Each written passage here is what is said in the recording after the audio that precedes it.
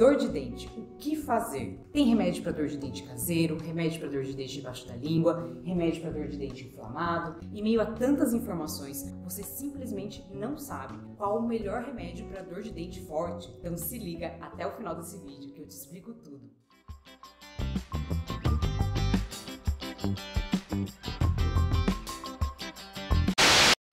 Bem-vindo ao Medica, aqui é a Aline e o assunto de hoje é remédio para dor de dente. Urgente! Afinal de contas, quem já teve dor de dente sabe que é de chorar. Importante que a dor de dente pode acontecer por várias causas: dente inflamado, dente infeccionado, dente com aparelho, dente após cirurgia. Nossa, não acabou ainda? Dente sensível, dente depois do curamento, enfim, causas relacionadas aos dentes. Mas existem causas para dor de dente que não estão nos dentes, como por exemplo a inflamação do nervo aqui do rosto, chamado de nervo trigêmeo, ou ainda dor de cabeça, e ainda problema aqui nessa junta da mandíbula. Ou seja, existem outras causas para dor de dente que não estão nos dentes. Por isso, antes da gente falar a respeito de remédio para dor de dente, esse vídeo ele não vai substituir a avaliação do seu médico, do seu dentista nem a prescrição dele. Afinal de contas, a dor ela só é a ponta do iceberg. E para o melhor tratamento, a gente primeiro precisa entender qual é a causa da sua dor de dente. E por último, evite a automedicação. Ela pode pôr em risco a sua saúde. Então vamos começar falando do assunto mais polêmico: um remédio para dor de dente caseiro. O alho. Isso, esse mesmo que você está pensando, aquele que espanta vampiro. O racional por detrás da história do alho como remédio caseiro para dor de dente vem de que o alho possui características antibactericidas contra bactérias. Isso realmente foi demonstrado no laboratório. Pegaram lá as plaquinhas com bactérias e colocaram o alho e viram que as bactérias elas morrem. Então, por essa característica, acredita-se que o alho possa aliviar a dor de dente. Mas Aline, por que diz acredita-se? Não é comprovado a eficácia do alho na dor de dente? Exatamente. A eficácia do alho na dor de dente não é comprovada cientificamente. Para isso, nós precisaríamos de estudos feitos em pessoas, seres humanos com dor de dente. Um fato curioso é que a substância responsável por essa propriedade antibactericida do alho se chama alicina e ela é encontrada no alho fresco, quando ele é cortado ou amassado. Não adianta, por exemplo, usá-lo em pó. Mas cuidado, o alho pode causar efeitos indesejáveis, além do mau hálito. As pessoas elas se empolgam e às vezes colocam muito alho e ele fica preso no dente, e isso infecciona tudo. Também existem relatos de casos descritos na literatura de pessoas que evoluíram com queimadura, lesões e até necrose,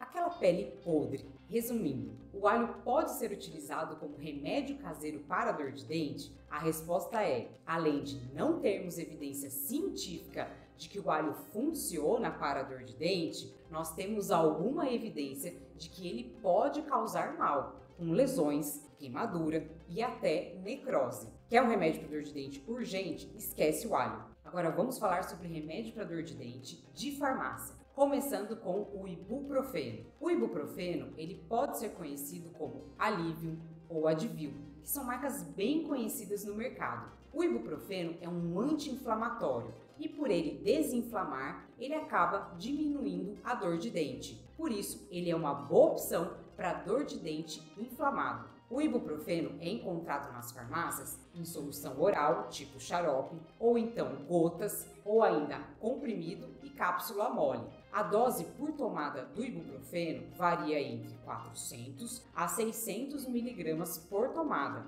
dividido mais ou menos entre 3 a 4 tomadas ao dia. Importante ficar atento porque existe um tipo de Advil que ele é de liberação prolongada, é de 600 miligramas dividido em duas tomadas ao dia, ou seja, de 12 em 12 horas. E cuidado, o ibuprofeno tem o potencial de causar dano aos rins e sangramento digestivo. Por isso, é importante ser utilizado sob supervisão médica. Esse outro remédio me faz lembrar de ti. Tilenol, Tilemax, Tilalgin é o famoso paracetamol, ou também conhecido como acetaminofeno, um analgésico que pode combater a dor de dente. A dose do paracetamol varia entre 500 a 750 miligramas por tomada, entre 3 a 4 tomadas ao dia. Ele pode ser encontrado nas farmácias na forma de para preparação, do tipo chazinho, Além disso, comprimido efervescente, comprimido normal, solução oral do tipo xarope e também em gotas. Paracetamol tem potencial de causar dano ao fígado, por isso, evite o abuso dessa medicação. Esse outro remédio é um analgésico, assim como o paracetamol, e ajuda no combate à dor de dente. A dipirona. A dipirona tem marcas conhecidas no mercado, como Novalgina e Anador. Tem um vídeo aqui no canal só a respeito de dipirona. Para que serve, quais são os efeitos, doses, inclusive como faz a equivalência entre gotas e comprimido. Se você quiser saber mais a respeito, vou deixar o link aqui na descrição para você poder se aprofundar nesse assunto. A dipirona, suas doses vão variar entre 500 a 1 grama por tomada, sendo que a gente divide entre 3 a 4 tomadas ao dia. Existem pessoas que são alérgicas à dipirona, por isso, atenção! Se você for alérgico, não faça uso dessa medicação. Por último, vamos falar do remédio para dor de dente embaixo da língua, o trometamol cetorolaco. A marca mais conhecida é o Toragesic. O trometamol cetorolaco é muito utilizado por cirurgiões dentistas após procedimentos cirúrgicos, ou seja, é uma medicação preferencial naqueles casos de dor de dente que acontecem depois de cirurgias. Trata-se de um anti-inflamatório potente e é utilizado na dose de 10 miligramas, feito por via sublingual, embaixo da língua. E você pode fazer uso de dose única ou então 3 a 4 tomadas ao dia. Justamente por ele ser um anti-inflamatório potente, é muito importante que seja utilizado sob supervisão médica e por poucos dias.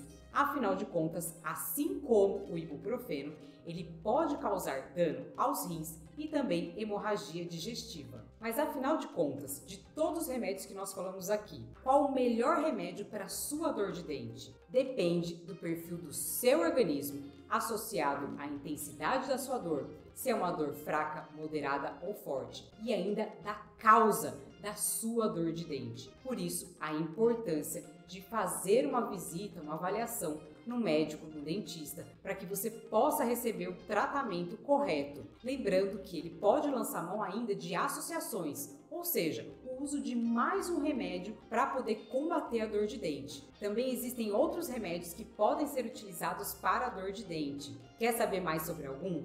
Deixa aqui nos comentários. Assim, podemos trazer esse conteúdo em próximos vídeos. Gostou aqui desse vídeo? Então dá um joinha e se esclareceu as suas dúvidas, eu tenho certeza que não será nem a primeira nem a última vez que você terá alguma dúvida a respeito de remédios e quer se manter verdadeiramente informado. Por isso, acompanhe o canal, se inscreve e ativa as notificações. Além de você ajudar o canal a trazer mais conteúdos, você se mantém verdadeiramente informado. Fico por aqui e até a próxima!